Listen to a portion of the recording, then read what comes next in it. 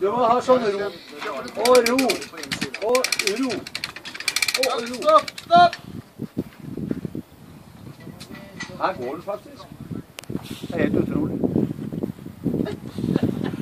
Ja, det, var ikke, det er ikke mye kreft som skal til. Nei, for faen. Det det var jeg glad for. Ja.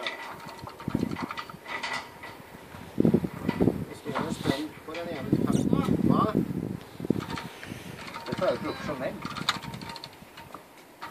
Jeg lover flyttergjengen. Dere kan jo begynne å annonsere. Er det lyd der òg, da? Jeg tror det. På?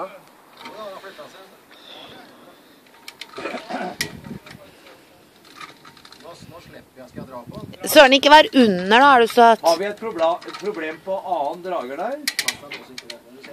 Det. Drager nummer to. Det, det drar i den på denne siden. Og den krosskroken som du har, den som går mellom de to, det er den som tar belastningen.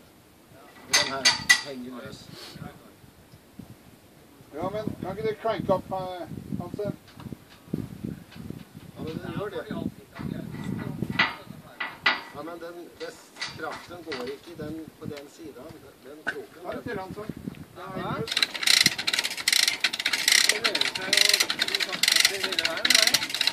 Men, de, Litt å se men dere må, jo, dere må jekke eh, synkront. Ja, du kjenner når det blir eh, Når det blir hardt, så er det, ligger foran. Når det er løst, så ligger det bak. Ja, men det er ikke her borte. Hvordan ser det ut på veggen her, da? Følg med litt opp. Hvor, Anders? Hei.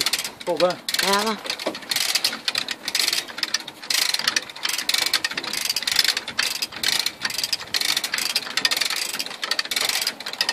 Thomas.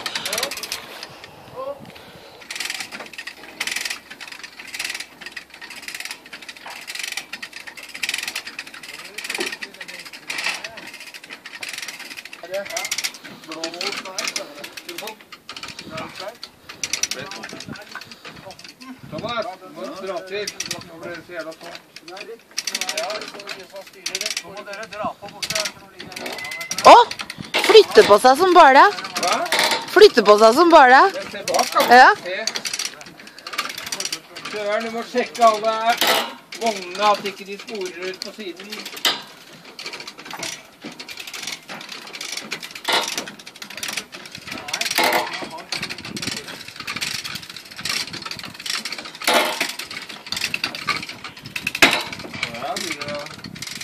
Det går bra.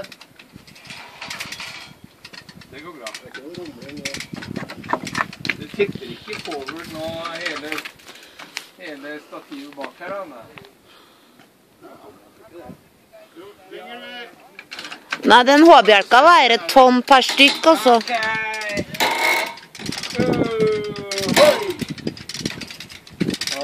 Hoi!